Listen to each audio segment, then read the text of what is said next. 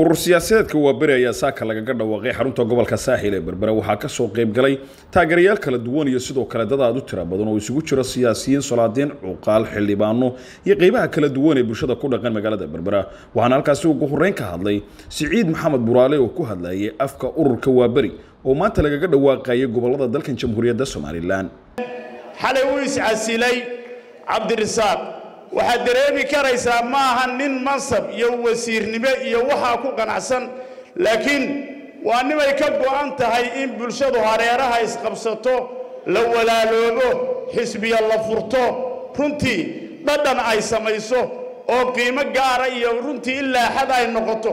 Ummaddu mid ay dhinac walba maanta aanay ku soo ururin beesha dhexe ay hareeraha u tallowdo oo dhinac walba ay u tagto waxaan aaminsanahay xisbigan inuu noqon doono haddii ururkan inuu noqon doono haddii ilaahay raalli ka noqdo mid ummadda dhan isu keeno oo dhinac walba runtii maanta min galbeed ilaa bari min saylac ilaa qow low yacaddo ummaddu ay isugu timaaddo oo ku walaaleeya oo ay garbaha isku qabsato haddii ilaahay raalli ka noqdo.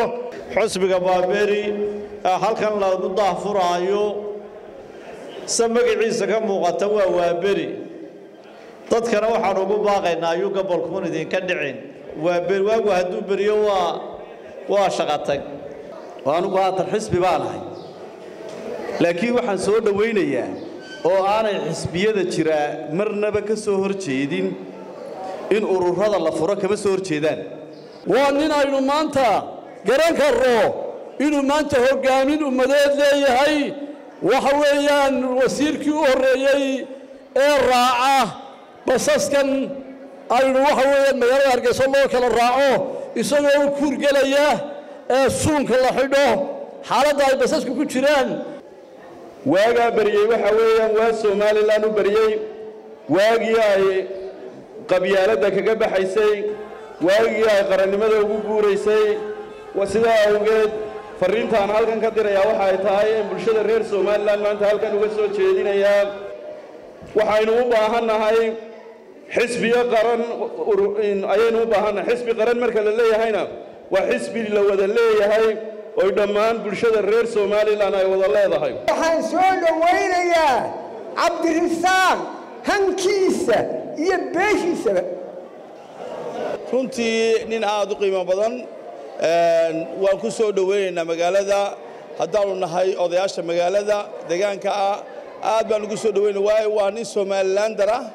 Dhallinyar ahaan iyo hablahaanba anigoo ku hadlaya afka haweenka aad baan ugu faraxsanahay in la furo xisbigan oo waxaan ka dhex aragnaa wax badan oo noo dana markaan dhallinyarada nahay. Oo maanta somalilan isdhex gashay farxad goonniyay ii tahay waxaan arrinka aan ugu ducaynayaa oo aan ugu mahadnaqayaa oo maanta buddigaheeda iska leh madaxweynaha jamhuuriyadda somalilan mudane muuse biixi cabdi. Oo waa laga saaka in waa cusub u bariya dalkani jamhuuriyadda somalilan. Cabdirisaaq ataash waa la jeclayn hankan iyo han ka sii sarreeyaba adugu ka gaadiid ahaan markanu ku hadlayna afka iskaashatada gaadiidleyda ee somalilan tawfiiq. Cabdirisaaq ataash waxa uu ahaa nin aad u macaan wanaagsan shaksinimadiis iyo dadnimadiisba qaali tahay. Oo hadduu dariiq maraayo iyo hadduu meel laga shaahaynaayo iyo haddii bas la raaco midna aanay ku jirin inuu dadka iska fogeeyo ama ilaalo istaaf gaara ilaaliso gebagabadii waxaa halkaasi lagu soo bandhigay ciyaaro iyo heeso lagu dabaaldegayo urur siyaasadeedkan lagu dhawaaqay. Waxaana uu ururkani ka mid noqonayaa ururada siyaasadda ee ku tartami doono doorashooyinka fooda inagu soo haya haddii ee beydmo mukhtaar cabdiraxmaan maxamuud telefishinka qaranka somalilan berbera